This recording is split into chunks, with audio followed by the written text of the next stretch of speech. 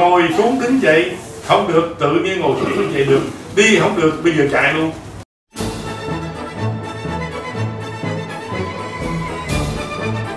Có rồi nhưng mà ờ, người ta cũng biết rồi nghe ông khóc đó, là cái người lãnh giải Nobel về y mô mạch đó. nhưng cho đến bây giờ y mô mạch cũng không phát triển trên thế giới.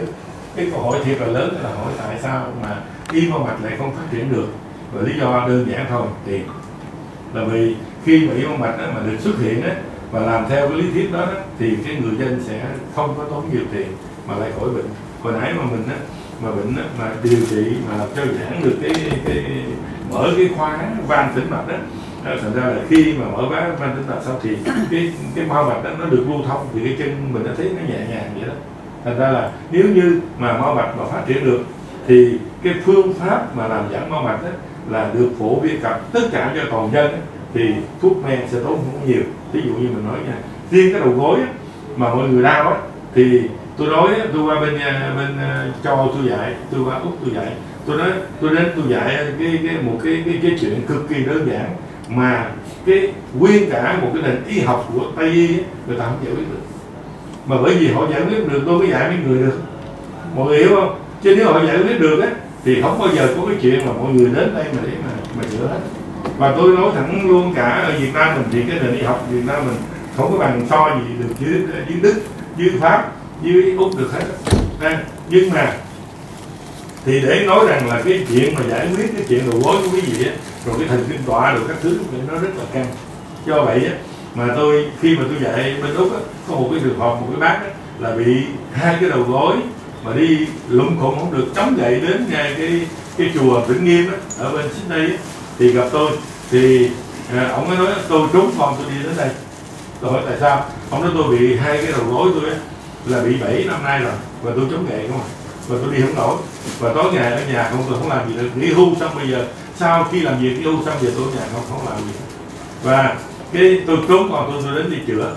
Và con tôi nó nói bố đi nghe mấy cái chuyện mấy cái thằng cha thì lan bông tào lao đến thì ờ, làm cho mất thì giờ mà có khi tổn thương của bố nữa.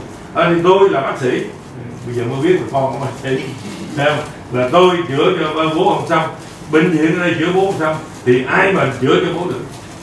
Và nó tin tưởng là cái nền y học đó, chỉ có đó là nền học đó giúp cho bố nó được thôi.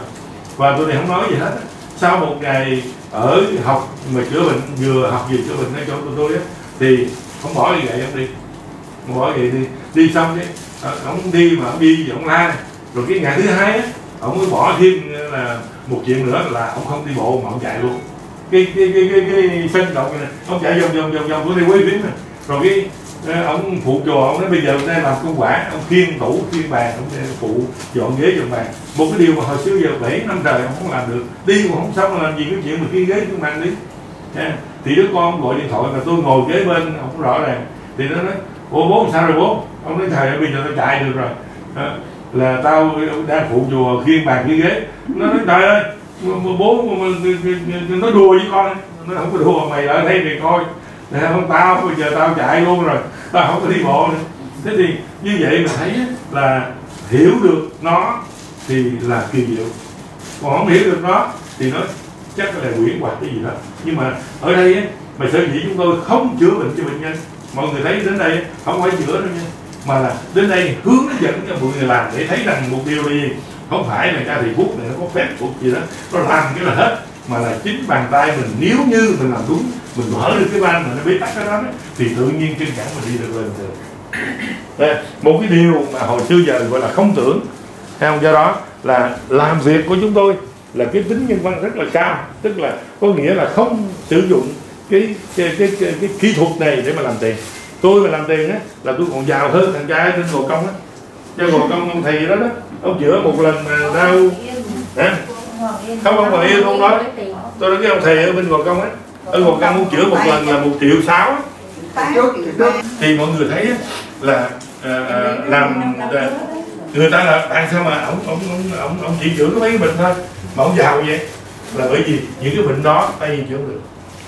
Và nếu mà tôi làm vậy thì tôi chỉ thủ cái đám này thôi. Tôi nhốt cái đám này ở đây ha. Tôi rửa, bây giờ tôi ngồi chỉ cái đầu gối thôi. Tôi làm từ bây giờ cho tới buổi chiều. Tôi cứ làm đi làm lại đó. Tôi bắt một người đóng chiều rưỡi không liền ngay lập tức. Bởi vì là ngồi xuống đứng dậy không được tự nhiên ngồi xuống đứng dậy được. Đi không được bây giờ chạy luôn.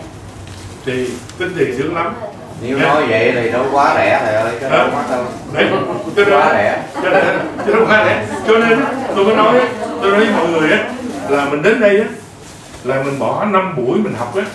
Mục đích làm gì? Không phải mình lo cho mình đâu nha. Mọi người nhớ á, là khi mình học cái này xong rồi á mình nắm được kỹ thuật này ha rồi mình về mình mới thấy rằng là ở hàng số mình nhiều người bị lắm. Nhiều người cứ đứng la lùm khùng lùm ngang lùm khùng như này trời ơi cái chuyện nó dễ quá. Thành ra mình vừa học xong mình vừa chữa bệnh cho mình mình vừa làm thầy thuốc cho số mình luôn.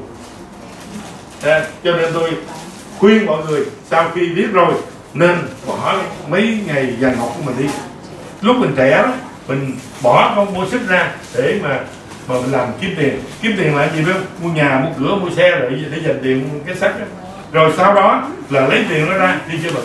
Ờ và tôi nói mọi người nha bây giờ mọi người đến bác sĩ á, nó chữa gì biết không? Nó vô cái nó chữa. Nó thôi cho vật lý trị liệu tôi không biết vật lý trị liệu cỡ nào nhưng mà tôi biết ở bên đức này tôi biết bên úc này nó cho vô vật lý trị liệu.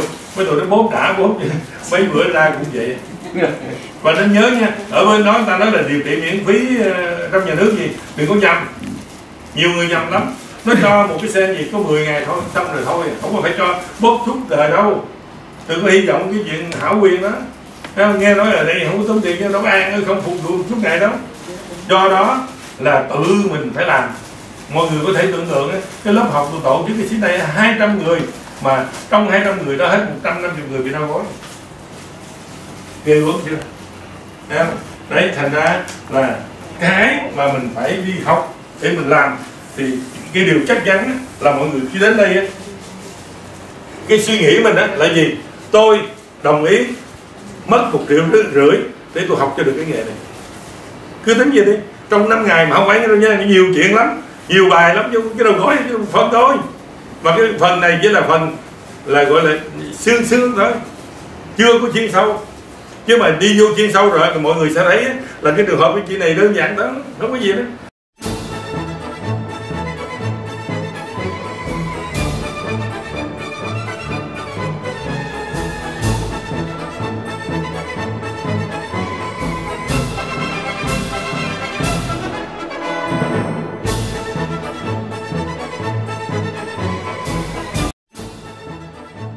Viện Nghiên cứu và ứng dụng bấm huyệt thập trì liên tâm.